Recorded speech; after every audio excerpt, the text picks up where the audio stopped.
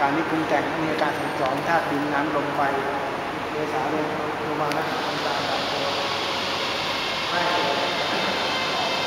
จริงๆแล้วเนี่ยคือสัญญชน์สินี่คือตัวนั่นนึ่งคือพี่ใช่ไหมใช่ไหมสัญญา อันนี้คือพี่เกียวใช่ไหม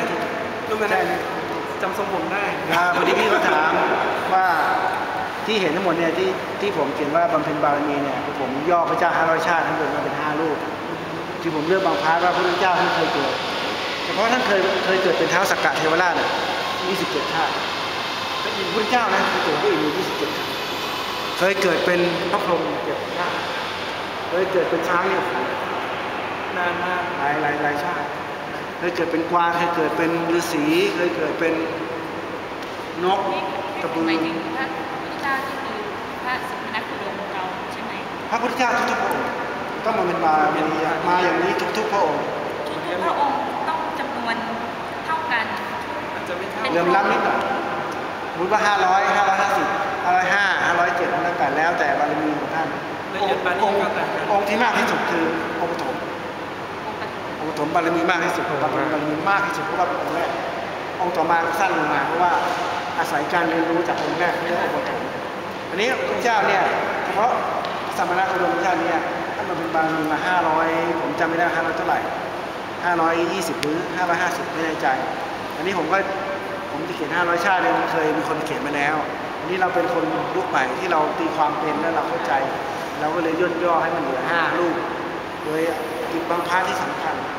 อย่าง part ที่ท่านเคยเป็นฤาษีเนี่ยเป็นชาติสำคัญหลายท่านที่เป็นฤาษีเนื้อเนื้อหรือว่ากวางท่านก็เกิด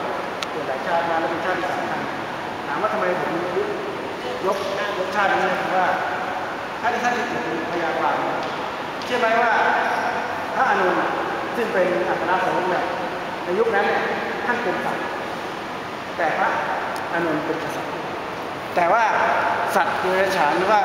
สัตว์บริษัทเนี่ยสอนมหากษัตริย์ให้มีคุณธรรม ไม่ธรรมดานะส่วนตัว